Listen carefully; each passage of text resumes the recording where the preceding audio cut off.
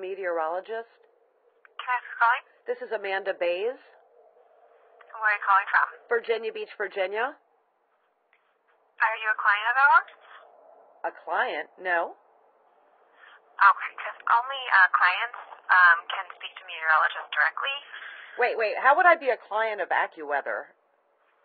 Uh, people pay for like weather uh, alerts and warnings and speak with meteorologists about weather. So you have to stuff. pay to speak to a meteorologist. Okay, well, do you have someone there that I can speak to about the conditions here in Hampton Roads? Unfortunately, not. Like I said, you have to be a client to speak with someone directly. How do I become a check out- client? That's interesting. Uh, you can go to our sales department if you would like. Sure, send me to your sales department. Sure, just one second. Oh, this is rich. Hi, this is Liz. How can I help you? Hi, yes, I was calling to get some information on how to become a client of AccuWeather. Okay, and what type of service were you looking for? I wasn't aware that you had any services, so I guess we could start there. What is a basic service of AccuWeather, and how much well, does it cost? what kind of business are you in? I'm uh, just a civilian citizen. Oh, well, oh, so if you just need basic information, you can go to AccuWeather.com. The sales department, which is for uh, businesses and companies, enterprise. okay, how would, can you can you give me or can you direct me to a phone number or to a just where I would look up to get uh, to speak to somebody about the weather conditions here in Hampton Roads? Like, who do I call? Is there a public number? Uh, uh. No, our meteorologists are business based, but you can get for free on AccuWeather.com. You can get that on your cell phone, smartphone. Right. I want to know. I I need to speak to somebody because some stuff's been going down here in Hampton Roads. So I just is it is Two hundred fifty dollars to start. two hundred fifty dollars? Okay. Yeah. And then that would with a meteorologist. okay. So it, what is it? Two hundred and fifty a month? Oh no, that's for a consultation service. Oh my gosh! So it costs two hundred and fifty dollars just for a one-time Yes. Yeah, see, what they do is if you give them the area, then they pull up a customized forecast just for your area. So they have to sit there for an hour or two to do the exact, it's, it's technical. Wow. Okay. Well, I mean, Yeah. don't they have that on radar? I mean, don't they have like a live streaming? You know, Oh, isn't it? yes. Oh, yes. Do you have a computer? Yeah. Okay, just go to AccuWeather.com. Great. But then I wouldn't be able to speak to the person because I have specific questions. Do you think if I should call like the is there a government agency that I could call that has to give us information? I don't know. You could call the National Weather Service. National Weather Service. Okay. I'll Yes. I'll try them. Okay. Okay, thank you, ma'am. All right. Sorry I couldn't help. That's Thanks. okay. Bye. Bye-bye. National Weather Service. Hi, yes. May I please speak to a meteorologist? And where are you calling from, ma'am? Virginia Beach, Virginia. Okay. Are you just needing to know about the weather for the weekend? Oh no. I just wanted to ask him some questions about the past month. Okay, one moment. Okay. Eastern Standard Time Sunday. The National Weather Service in Wakefield has issued a winter storm. How can I help you? Hi, yes. Are you a meteorologist? Uh, I used to be now I'm under IT, but I can do both. That's okay. If you used to be, that's close enough for me.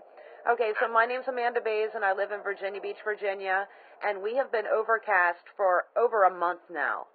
And I am d- deathly ill. My parents are ill as well. And I was just wondering if you can explain to me why we've been overcast for over a month.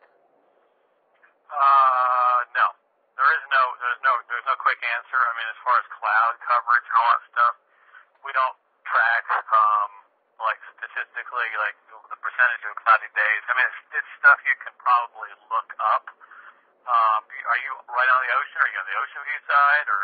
Um, no, I mean, I live near the beach, but I'm not on the ocean. Right. Um, I mean, the, there, there isn't any big major weather pattern that is causing anything like that. Are you talking like the seasonal, like um, I'm talking about our skies have been completely covered, which I have documented through video footage for the past month and even longer than that. And I also would like to point out that I have personally witnessed fleets of aircraft emitting garbage in the sky which turns into artificial cloud cover creating artificial overcast conditions. And I want to hear from a meteorologist an excuse worthy for me to accept of why naturally the sky is like this, other than what I've witnessed myself, which is fleets of aircraft emitting garbage in the sky, which is creating this condition. We don't have any relationship with the military at all. There's no relationship at our office, so we have no clue, you know, if such a thing was occurring. They don't ever communicate that with us. Right, but I didn't mention the military. I just want okay, you or, to. Or aircraft, as a rather. Um, I mean, I've surfed down at Virginia Beach the last couple of, uh, like the last month and a half, uh, a few days. And yeah, you're right. I had some sun in the morning, and then driving back to, to work, it definitely got really cloudy. Um, It got cloudy because of the aircraft emissions. I witnessed this. I document this. I have all the footage, and you know, I find it very disheartening that when I go to the authorities, the proper quote unquote weather authorities, they do absolutely nothing about it. I'm here on my damn deathbed, sir. I mean, I've got this flu. I haven't been sick in five years, you know, Right. and I believe it is due to us. We're not getting sun. We're not getting photosynthesis. We're not getting the sunlight that our bodies need, you know, and um, the aircraft emissions that are spraying out into the sky, I watch them as they start off as a line and they spread apa- apart and they turn into cloud cover. now, how high up are these aircraft that you're saying? Are you talking like the kind of that's high enough where you can't hear them, like jetliners, or are we talking like the military? I'm talking about fleets of aircraft going in every single direction, making X's, grids, doing U-turns, doing circles, laps. I mean, these are commercial jets, military jets, um, jets with no identifiable markings on them, jets that show up on flight radar, jets that don't show up on flight radar. I mean, this is absurd. And I believe it's a crime against humanity what's going on. I believe this is weather warfare. I, I want I want an answer from a meteorologist that will make sense to me so I can put this into at the, perspective. uh, well, I mean, today's not a good day to talk because you've got a snowstorm that's going to come up from the, Coast area across southeast. So I'm looking at satellite imagery right now, you've got, you know, a, an entire blanket of clouds, let's say from Alabama all the way to, to Maine. And then if you go back west a little bit, once this system comes through, it's going to be a quick shot tomorrow. You're going to get some clearing into Sunday into Monday. And you should get some sunny skies. out Oh, so sunny skies for two days out of 30. I mean, Well, you know, your weather does usually come from the west to the east, so I mean, I can't, I can't comment on on, on anything that the military might or might not be doing. That's that that's not what I went to school for, as far as you know. But I'm looking at weather that's coming at you from the southwest right now. I mean, but do you guys do you guys actually when you're doing your weather forecast, can you see the airplane emissions in, you know that are going across the sky because I can see them with my bare eye. I can see them from my airplane when I'm looking Right. down. I no, can the time we can see that stuff is is, is if, and, and this this goes kind of full circle or a comment. If it was a clear day on a satellite, okay, so like like we can see a forest fire. If there's clear weather and somebody lights a forest fire, let's say they set a couple hundred acres on fire, we can see that on our visible satellite imagery. And then anytime any other clouds get in the way, then they're being blocked. So if it was a completely clear day, we occasionally see the contrails from aircraft, but they're moving. that Those contrails are, are moving a lot quicker than the satellite imagery is really designed to take a picture of. Okay, now you use the term contrail. What does that mean? That's the that's the water vapor that comes out the back of an aircraft. Well, what And makes you what makes you say that it's water vapor because you haven't identified That's a byproduct of every combustion. Right, but you haven't identified the specific aircraft that I'm speaking of, and, and without testing the emissions, it's unscientific for you to, definitive, to No, definitively not. state that it's a contrail. No, it is. It's, it's any combustion engine has an output of water. You look behind your car during if it's wa- warming up and running, you're going to see drips of water coming. Well, in. Where were the contrails 10, 15 years ago? The airplanes didn't always emit trails that crossed across the sky. I remember what skies looked like when I was a kid. I remember what skies looked like in 1994 when I graduated high school. I mean, I can go back in history. The first quote unquote contrail that you're saying I witnessed in 2005. So do you mean to tell me that you're going to tell me that you don't, you know for a fact that there are aircraft up there that are not spraying something? I have no clue about that. See, so you can't. So Yeah. if you don't know for sure, sir, I'm telling you, I'm concerned that these are aircraft that are spraying stuff into the atmosphere to create this artificial cloud cover. Well, have you gone in contact with the EPA? Yes, sir. I testified on C-SPAN about it. And what was their did they, did Their they response was to cover it up, which is they're the biggest cover-up agency out of all of them. I've been to the FAA, the DEQ, the FBI, uh, the police. I mean, uh, the the governor, the White House. I mean, you can name any type of agency. I've already spoken to all of them.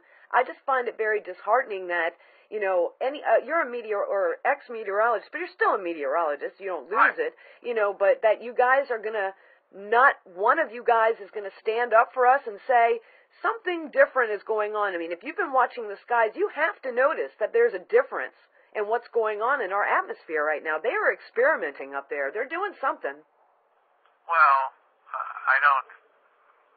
Me personally, my worries are of other sorts of governmental things. Uh, We, we, we'll, we'll, we'll agree to disagree on this specific, this certain topic, but I think that there are other things that they're doing that that I would be personally more concerned about. Let me ask you a question. Can you see what they're doing above the artificial cloud cover? Now, not no, that the problem with that is when you get multiple cloud layers. When you actually have weather, like let's just say there is weather that's creating some of the clouds, then the satellite you're you're, you're seeing a series of layers. And remember, those those aircraft are moving way faster than satellites are designed to snap pictures of. That's the other problem. Oh, you understand how frustrating this is for me to Oh be. no, I do, I do, and, and we will agree to disagree on this this particular event, but I will agree with you that there are things being done covertly. I agree 100% on that. I just, it, it, you know, I, I'm it, that that's what you, that's impacting you personally. Yeah. Is there some way for is there some way for you guys to test the atmosphere for heavy metals and chemicals that may be being added without our consent? We don't have any chemists here. That's problem number one. Problem number two is even if we could get a chemist to come out here to get a, an accurate sample would be really hard. See, I don't even know if airborne chemists can, can they'd have to probably fly an aircraft through it. See, when you drop something, let's say you're in an aircraft that's a thousand feet up, and it drops something out, that's going to fall over several miles. That's another problem. And what about uh, not not the EPA? What about something like um, I want to say like Surfrider Foundation, but they're they're more than the oceans. Um, that would be the other thing. But to, to Well, I need somebody within the government with a chase plane that's willing to test these emissions for us and come back with an actual sample and give us a genuine answer. I mean, this is ridiculous that I mean, I'm just one person. I shouldn't have to, you know, I track Greenpeace, planes. Have you talked to them I'm sorry? about Uh, Greenpeace Greenpeace does not test air emissions. DEQ does not test air emissions, and it um even um the DEQ they test um they do not test for heavy metals and chemicals. Like they will test for other stuff, but not the heavy metals and biological material. That's what we're concerned about. Right. So Another one, what I'm thinking, the, the, the Audubon Society, but they're pretty much only and the Sierra Club and all that. These are all fluff. You know, they they do their little part, but they don't deal with this. What I'm dealing with is a clandestine spraying operation. That's probably some covert military thing that I'm unable to get help from with anybody. And I've been doing this for years and years. It's just going on. the universities down there? Is that Yeah, I've already tried them. Yep, they actually said that they. I tried to get ODU to test my snow. I have a bag of snow in my freezer that I've had for two years that I wanted to get tested. Is there any number that you can refer me to? Um, Not not with the chemist. Well, you know, the other thing is, what about? I mean, the private testing. You know, like no, they told me that. They said that they cannot. It said they said that I could actually have my test. I called NASA, and they're like, "Well, you can have your test analyzed, and you can bring us the results, but we can't prove that you didn't taint it, where you got the sample from, what caused that contamination. It's a wide variety of things. So the EPA themselves even told me that they would have to come out and get a sample, and then they would have to put that sample through Congress before they could even come back and act on it. It's you guys have made it not you, but the system Yeah. has hey, made I'm it not part of impossible. Don't don't blame me. Yeah, the system has made it impossible for the people to protect themselves. All we want is clean air. I'm a voice, one No, of the agree many. But No, I, well, the only thing I can think of is, is, is maybe Google online a private testing company that would come out to your property. Let's just say they took a couple ounces of your soil. They, they, they'd have to put it in a jar and do a chain of custody, meaning that they'd have to track that it goes from your yard to the jar, sealed to the lab to a chemist. Because I used to, before I went to the Weather Service, I used to work for Corning, and I was a lab technician, and we had to do that whole thing. Now, there's tons of private companies like that would come out and test your water and test your soil, and that was that's relatively inexpensive, and that way you get a tracking of custody. yeah, Now, let, let's say, let's just say that that stuff was falling from the sky. Then it's obviously hitting your roof, it's hitting your trees, it's hitting your yard, it's hitting you. The, the only way you could get a smoking gun is to have your soil tested, because it's let's say it's falling on your I yard. have all those results. I have soil, blood, hair, and water. And I actually brought them before the EPA in Washington, D.C. on live national television, and nothing happened. What, what did the results show, though? The results showed high levels of barium, strontium, aluminum, mercury, lead, all kinds of crazy stuff, uranium and stuff, and nothing happened, sir. No, I, that, that's interesting, though. Uh, that's, I mean, you, you, okay, let me ask you a question personally. What's your what's your name? I'm Brian. Brian. Okay, Brian. Um, how long how long is it until you retire? Uh, a long time. Oh. So I was going to see if maybe you could help me. No. You can't help me on the side? no, I don't have a, I don't have the connections like that. Like You're a meteorologist at the National Weather. Yeah, but see, we just look at the clouds and all that stuff. What it sounds like is you need an atmospheric chemist. And that's that's the thing, and I don't have I don't have any contact with that. You don't have any Oh, the other place you could go is maybe out in Boulder, the, University uh, UCAR, which is the Atmospheric Research Center, University of Colorado type stuff. And Okay. they might have some consulting meteorologists, but Okay, why do you say the University of Colorado? yeah, that's UCAR, um, like the atmospheric research people up there. Okay. But th- th- this is a, I mean, this is a battle you're going to have to fight, and then I don't, I don't know other than getting.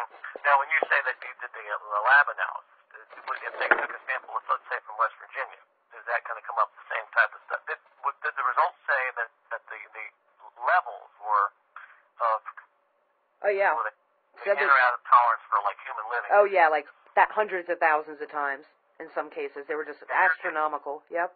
And your local health department wasn't concerned about that. Um, I I went through. I've gone through. I've gone through everybody. Yes. I mean, if look, if I brought forth this information on live national television to the EPA, the heads of the EPA, and they didn't do anything about it, what makes you think my local health department is? I mean, I already went to the health department first. They were one of the first people. It was going to be televised. I've, I've had Wavy TV 10 News involved. I mean, you really can't name an avenue I haven't tried to exploit but I'm t- it's just it's just crazy and it's really sad. But I'm just concerned that we're never going to not be overcast again. We've been overcast for so long. Every morning when I wake up, it's the same overcast. And then when the clouds part, there's that airplane emission right there in the middle. You know, they're spraying above the clouds. So Well, well, this this isn't a good example today because you've got weather actually coming up the coast, so you know the snow's going to come from the cloud cover and stuff. So this is legitimate weather. Now, and, and aircraft are still flying today. You just don't see them. It's not the flying aircraft, it's the spraying aircraft. They're two different aircraft. There's normal aircraft and then there's uh aircraft that are intentionally adding stuff to the atmosphere.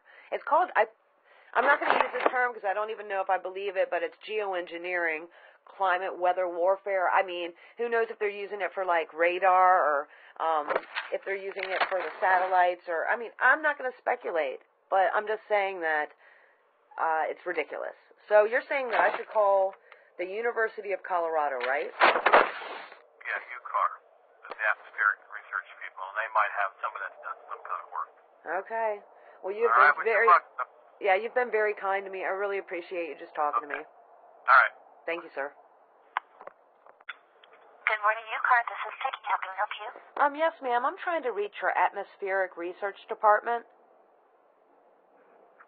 Okay. Um, can you tell me what it's what it's about so that I can get you to the right person? Right. It's regarding um, Virginia Beach, Virginia, Hampton Roads, uh, weather conditions, and some questions I had about the atmosphere. Can you hold for just a minute, please? Sure. Ma'am, thank you for holding. Okay. Okay. So, um, I can give you a web address. I want to speak to someone. Okay, so the the web address is going to point you to the um, your local. Um, I wasn't. I was actually call. I called my local place and they directed me to you guys. They said that I needed to speak to an atmospheric scientist in regards to what I'm concerned about. Okay. Um. Do you have an atmospheric scientist that would be willing to speak to me and answer a couple questions? Um. Just a minute. Okay. I'm being directed to the website, so I'm gonna see what I can find here that might be helpful for you. Yeah, because websites don't do anything for me. I actually need to speak to a human. I mean, I can go on the website and look up stuff all day long, but I need to hear it from the horse's mouth, and that's what the National Weather Service told me to do. They directed me to you guys and said that you were a, specifically a scientist, uh, atmospheric research scientist was who I needed to speak to.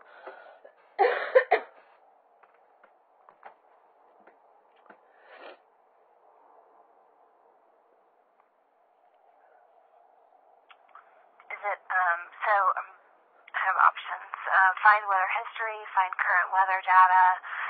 Um. speak to a scientist. Is that one of the options?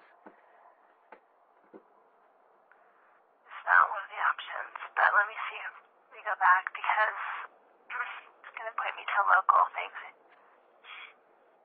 But I don't think anybody local is what I need. I've already exploited, I mean, I've called every government agency, every NASA scientist, you know, um, I was referred to you guys because I guess you are uh, well educated in the field that I have questions about, so. Okay, and what is the field that you have questions about? Uh, the atmosphere and uh, what is causing uh, the conditions that are currently going on right now. It's not even just that. It's just atmospheric science involving uh, pollution and stuff like of that nature. Okay. Where can I find current weather data from radar, satellites, instruments, and forecast model output? That doesn't help me. I know I can. I have live radar image, satellite images from my area. It doesn't do anything. It doesn't answer the questions that I have. I specifically watch um, the sky be covered in pollution, and it's causing um, artificial overcast conditions here. And I want to speak to a scientist about where how I can get the atmosphere here tested for heavy metals and biological material, chemicals, and other stuff that the DEQ, which does not uh, test mobile sources of emissions. See, it's too much information for me to just be telling you. That's why I need to be speaking to a scientist. Uh, I understand. I just want to get you in the right place and not just point you to a website that's going to get you to someone local. Right. Um, and I'm I'm sorry, I'm a little bit new, so I'm gonna um, I need to go back and find out where I can send you that would be um, best suited to help you. Okay. It can't be somebody that actually works there. The- You're in the president's office. So. Wait, wait, wait. so What did you say? I'm looking at. I'm in what? Right, right now, you're in the president's office for the uh, University Corporation for Atmospheric Research. I'm in the And- president's office. Right, and we manage the National Center for Atmospheric Research. Okay, so wow. There's no scientists in this building. Okay. There, so I would have to locate a scientist for you to talk to. Gotcha. Um, so it's going to take me a little bit to figure out That's what area of scientists I should send you to because we have multiple areas of scientists. Yes, gotcha. Um, okay, so I'm so, I'm sorry for the delay. You're fine. Thank you. Yep. Uh, I'm just going to put you on hold, okay? Yep, and good. tell me, what's your name, ma'am? My name is Amanda Baise, B A I S E. Okay, Amanda. All right. Let me put you on hold and I'll see what I can find, okay? Sure. Amanda, Yes, ma'am. um, I'm going to transfer you to Zhenya Gallon. Okay. Gallon, and she is uh, uh, senior editor for news and social media, Okay. media relations associate in the our office. Okay. Um, and so she said that she would take your call. Okay. Sounds good to me. Thank you. All right. Communications. This is Zhenya. Hi, yes, ma'am. My name is Amanda Baise, and I was referred to you guys from the National Weather Service. I live in Virginia Beach, and I'm con- Uh-huh. extremely concerned about the overcast conditions that we've had here for over a month now. I personally witnessed fleets of aircraft spraying out emissions into the sky, which cover, you know, they break apart and turn into artificial cloud cover. I was calling to see if there was any atmospheric scientist that you could refer me to that I could speak to about finding someone to test uh, the air here for heavy metals, biological material, or um, chemicals. So, have you been keeping up with the conversations on the internet about so-called chemtrails? Um, why? What do you have for me? You have any information for me? I have information on how contrails form when they come out of the tails of jets. Okay. Well, without without knowing what aircraft I'm speaking of and without testing the emissions from these specific aircraft that you have yet to identify, you cannot definitively state to me that it is a contrail. That's why I would need an atmospheric scientist or researcher to possibly rent a chase plane and to go up and test these emissions. All I know is what I can witness from ground level, which is that I wit- you're witnessing these these uh, clouds uh, coming out the tail and then and spreading then out across uh, spreading out across the sky and not dissipating, which is what a contrail would do, because a contrail, in essence, is water vapor. Water vapor itself is a chemical, but um, we're not going to debate over that. Um, I witnessed them stay in the sky forever and then turn into artificial cloud cover, which is blocking the sun. I am deathly ill right now. I have the flu. My parents have the flu, even after taking their flu vaccine. We haven't had sunlight here for over a month. I'm extremely concerned, and I'm doing my duty as a human on earth to protect myself and my family and loved ones by trying to find someone that's willing to actually test what the actual elements in the air that we're breathing are. Because the uh-huh. DEQ here does not test mobile sources of emissions, and the, the test results that we're getting back of the air samples, the air data here, does not include heavy metals, biological material, or chemicals that we are concerned about. I understand your concern. What I can tell you is that we conduct field campaigns with our own research aircraft, and we have sampled the air all over the world. Okay. And I can I can tell you that what we find coming out of the tails of aircraft are contrails. Okay, well, that's a complete and utter garbage. I would like to see your reports, and where can I find this so called data? And have you done this here on Hampton Roads with the military jets? I understand that you are very concerned and that there are many people who believe. Have you tested are... the military jets here? That's what I, because I believe a lot of these No, we have aircraft. no we have no role in testing the emissions from aircraft on the ground. Yeah, Uh, see? I'm sure I'm sure that they go through some sort of I don't I, I honestly don't know. The Environmental Protection Agency may have some information for you. Uh, I've already testified on C-SPAN before the Environmental Protection Agency, bringing them my blood, soil, uh, water, and hair samples showing high levels of strontium, barium, aluminum, cadmium, lead, mercury, um, What uranium. does your what does your local what does your local environmental protection in the state or in your Uh, county the local say? EPA here in Region 3 does absolutely nothing except for cover up anything. They do not give us, they don't do anything, which is what all of you do. Nothing. That's the only thing that I've found that is common in every agency that I've called. And the contrail myth or theory that you guys are trying to perpetuate to those of us that are in the know is absolutely absurd and it's unscientific. I am not going to allow you to just, uh, tell me that these are contrails when the condition of the atmosphere is abhorrent at best. I want an actual Ma'am, I can see that you have made up your mind. So I haven't made I up my mind. I'm you calling you. I'm calling you to get a scientist. I haven't made up my mind. I need help. So, um, I would think you would want a scientist familiar with your region. Okay. And I would suggest contacting um, the research universities in your area and seeing if there's a scientist at one of the research universities who studies atmospheric chemistry. But I thought that's who I was calling right now. Aren't you? Don't you have atmospheric? We're a national center. We're a national center, and we conduct research that is funded to look at specific issues. We have done research on condensation trails, and apparently you're not interested in the results of that research. I've I've done uh, more research than you have probably on condensation trails, ma'am.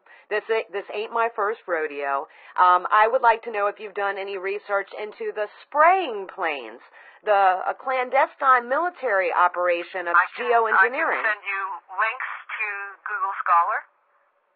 Google Scholar. Okay. can- Mm-hmm. uh, I, I want to speak to a scientist. Why are you ignoring the fact that I need an atmospheric research scientist willing to test for heavy metals here in Hampton Roads? I'm not because we don't do that.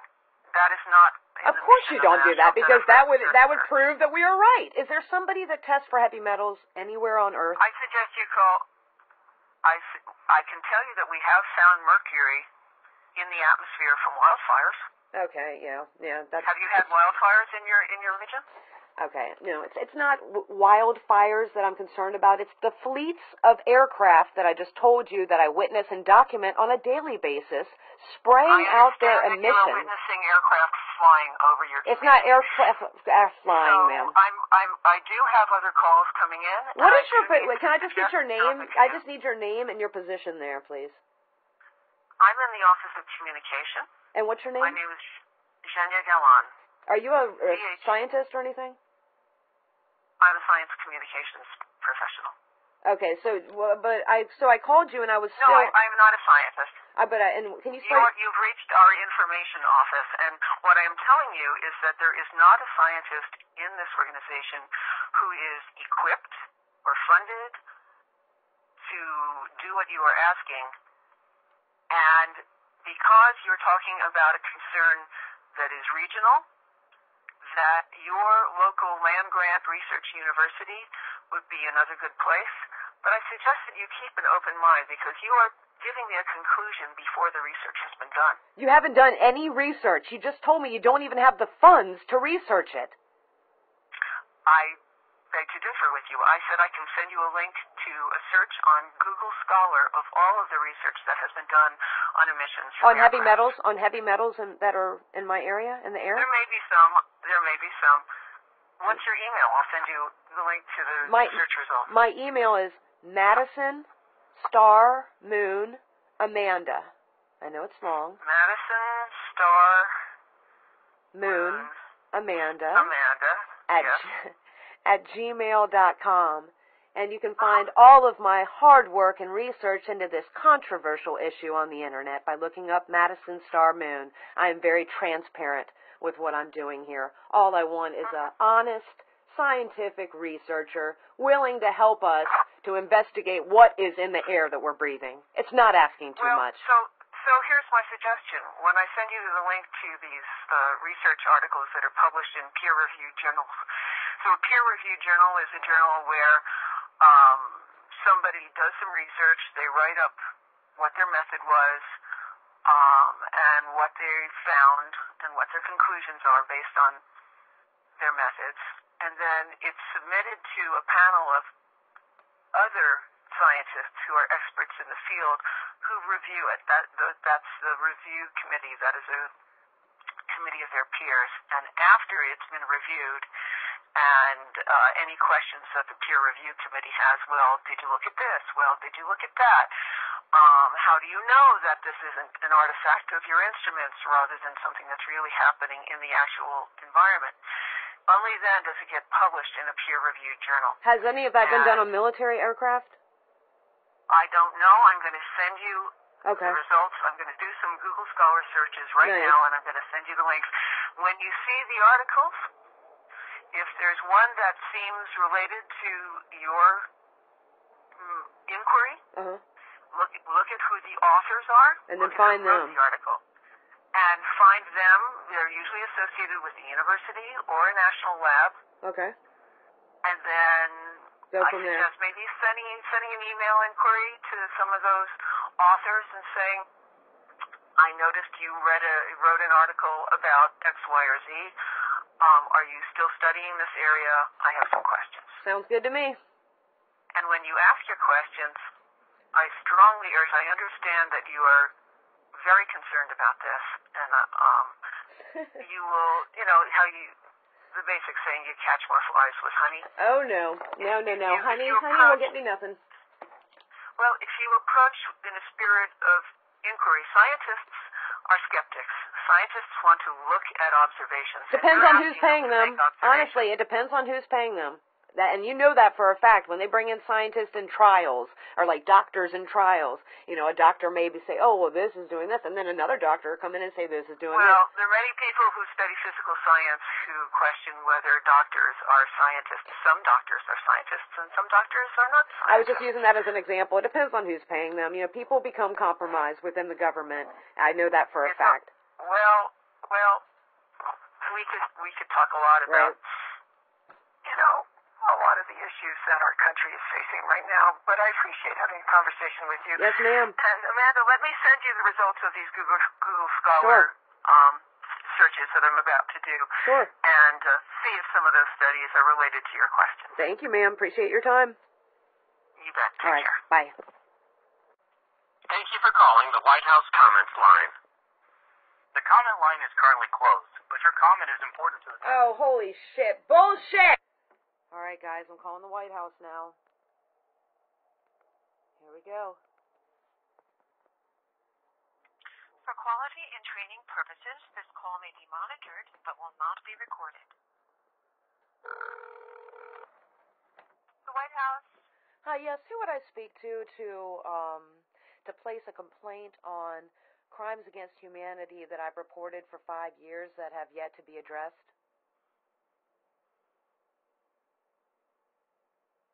And um, did you were you seeking like White House assistance with that?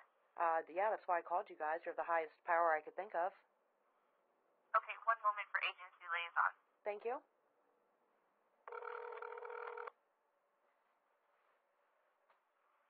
You've reached the White House Office of Agency Liaison. If you're requesting assistance with a personal issue, please provide a written description of your concern. Really? Appreciate your call. We are unable to respond to your concern by phone. You may send an Bullshit! to the President by visiting White House. Fucking. Ooh! Okay, no, no, no, no, no. This is such horse shit. For quality and training purposes, this call may be monitored but will not be recorded. Thank you.